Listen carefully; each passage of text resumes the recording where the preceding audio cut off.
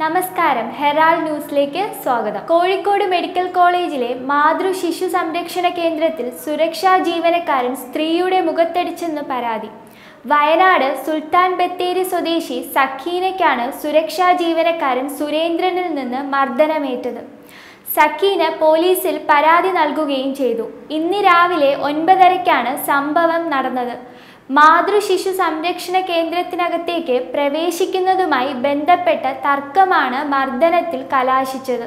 മകന്റെ കുട്ടിയെയും അമ്മയെയും ഡോക്ടറെ കാണിക്കാനായാണ് സഖീന മെഡിക്കൽ കോളേജിൽ എത്തിയത്. അമ്മയെ സൂപ്പർ സ്പെഷ്യാലിറ്റി വിഭാഗത്തിൽ കാണിച്ച ശേഷം മാതൃശിശു സംരക്ഷണ കേന്ദ്രത്തിലെത്തി. ഇവിടെ വെച്ചാണ് സുരക്ഷാ ജീവനക്കാരൻ കൂടുതൽ പേരെ അകത്തേക്ക് പ്രവേശിപ്പിക്കില്ലെന്ന് പറഞ്ഞത്. പിന്നാലെ തന്നെ പിടിച്ച് തള്ളിയെന്നാണ് സഖീനയുടെ ആരോപണം. ഇത് മൊബൈൽ ഫോണിൽ പകർത്താൻ ശ്രമിച്ചതോടെ സുരക്ഷാ ജീവനക്കാരൻ സഖീനയുടെ മുഖത്തടിക്കുകയായിരുന്നു. കൈമടക്കി മുഖത്ത് രണ്ട് തവണ കുത്തിയെന്നാണ് സക്കീന പറയുന്നത്.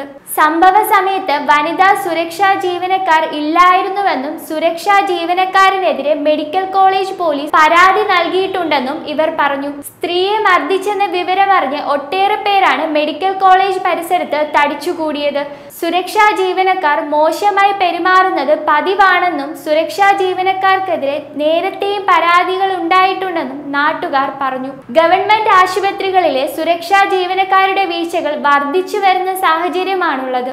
ഇതിന് സമാനമായി തിരുവനന്തപുരം മെഡിക്കൽ കോളേജ് ആശുപത്രിയിലെ സെക്യൂരിറ്റി ജീവനക്കാർ കൂട്ടിരിപ്പുകാരനെ മർദ്ദിച്ചെന്നു പരാതി ഉയർന്നു വന്നത്.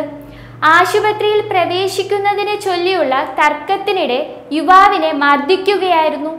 ഇതിൽ സെക്യൂരിറ്റി ജീവനക്കാർക്കെതിരെ പോലീസ് കേസെടുക്കുകയും രണ്ട് സെക്യൂരിറ്റി ജീവനക്കാരെ arrest ചെയ്യുകയുമായിരുന്നു.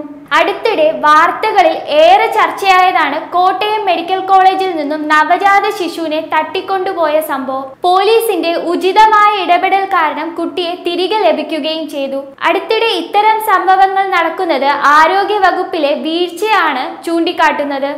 News desk Herald news.